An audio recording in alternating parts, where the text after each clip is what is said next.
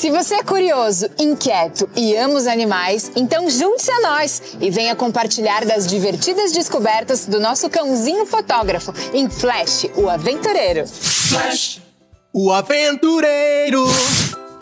Oi, pessoal, Flash e eu estamos aqui para conhecer mais um animal. Oi, amigos! Tenho certeza de que será muito divertido! Sim, e hoje é um animal muito conhecido. Ele povoa muitas histórias. Muitas histórias? Sim, quando se pensa em deserto, logo se pensa nele. Eu acho que sei qual é, que legal! Tá pronto? Sempre! Então vem comigo!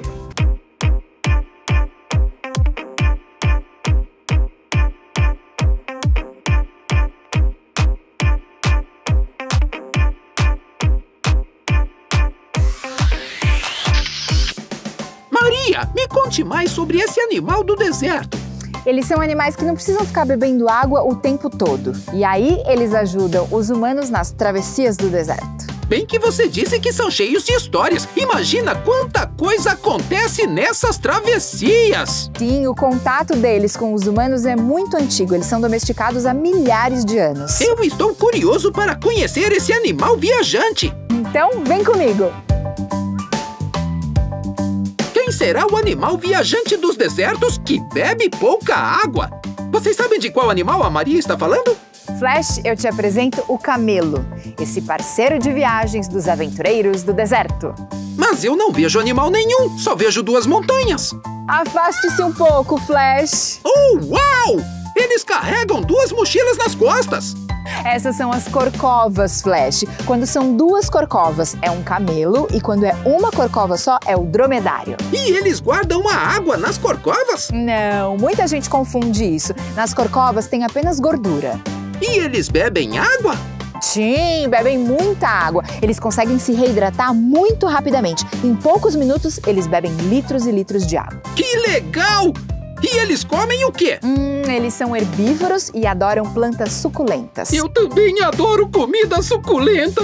Suculentas são plantas cheias de água, assim eles também se reidratam. Outra coisa interessante de saber, Flash, é que eles têm o corpo perfeito para o deserto. Até as patas são grandes e não afundam na areia. Eles foram mesmo feitos para o deserto, hein? Hum, exatamente. Mas eles se adaptam bem a novos ambientes. Eles são muito resistentes. E simpáticos. Sim, eles são dóceis, mas. O quê? É, assim, quando eles se sentem incomodados, eles podem dar uma bela cuspida na cara de quem os incomoda e até morder.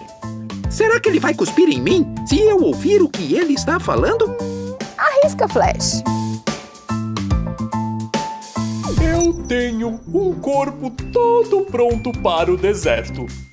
Patas que não afundam. Três pálpebras para não entrar areias nos meus olhos. Lábios que me permitem comer plantas com espinhos e até narinas que podem se fechar para não dar para respirar areia. Poucos mamíferos são mais resistentes do que eu. Uau! Eles são quase super-heróis! E ele disse que são mamíferos. Eu não sabia disso. Flash, quer conhecer os filhotinhos? Sim, vamos! Vem comigo! Eu sempre adoro essa parte. Eu também.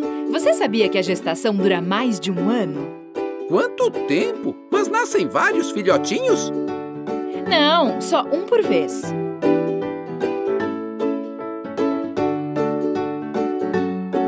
São muito bonitinhos. Maria, e se eu tirar uma foto, será que ele cospe em mim? Acho que não, Flash. Arrisca de novo.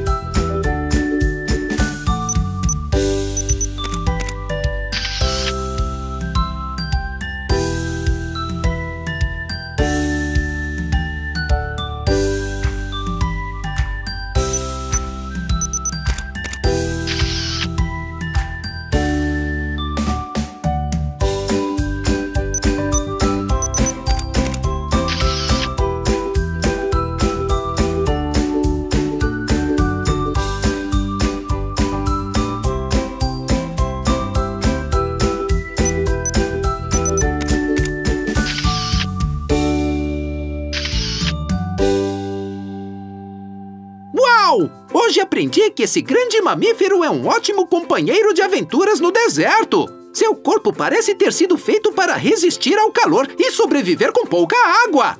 Quantas coisas legais descobrimos hoje sobre esse animal super-herói! E aí, Flash, gostou? Eu adoro conhecer novos animais! Obrigado, Zumo Safari! Até a próxima, amigos! Até!